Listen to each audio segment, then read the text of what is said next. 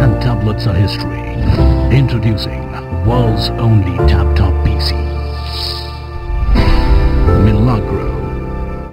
for the second tablet up for contention and this is the Milagrow and here's the main reason the absolute main reason why you should consider it just look at the number of ports from two different USB ports from the fact that it has a SIM card an SD slot HDMI out literally everything the most ported out tablet we've ever seen 8 inches uh, the screen is pretty nice. In terms of the look and feel, it's, it's, it's a good looking device. They could have done more, especially with the front. I did tell the company this, that they could have gone with a slightly better looking front to it. But other than that, it's got mostly everything you need. It's 8 inches.